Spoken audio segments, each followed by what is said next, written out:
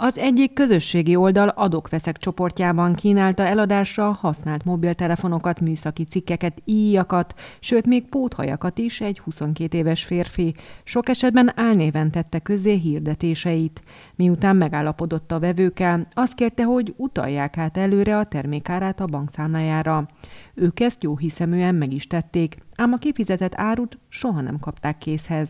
Az átvert vevők próbálták felvenni a kapcsolatot a férfivel, aki kezdetben hitegette őket, majd egy idő után elérhetetlenné vált a számukra. A férfi 175 az ország különböző pontjain élő embertől csalt ki összesen 6 millió forintot. Sok esetben ezeknek az értéke nem haladta meg az 50 ezer forintot, de előfordultak olyan esetek is, 22 olyan eset, amikor a, az 50 ezer forintot meghaladta, de az 500 ezer forintot nem érte el az okozott kár, itt több százezer forintos kárértékről is szó van. Az internetes csaló úgy bukott le, hogy az internetes közösség tagjai elkezdték egymás figyelmét felhívni a csalóra, és többen feljelentést is tettek a rendőrségem.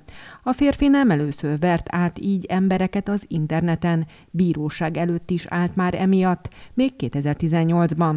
Akkor bűnösnek találták, pénzbüntetésre ítélték, azonban mindez nem tartotta vissza attól, hogy a család magatartását megismételje. Az ügyészség a korábban letartóztatásban, majd bűnügyi felügyelet hatája alatt állt vádottal szemben börtönben végrehajtandó szabadságvesztés, közügyek gyakorlásától eltiltás kiszabását szorgalmazza, illetőleg pénzbüntetés kiszabását, azzal, hogy a bíróság rendeljen el vagyonálkobzást a vádottal szemben. A férfi három hónaptól négy és fél évig terjedő börtön kaphat tettéért.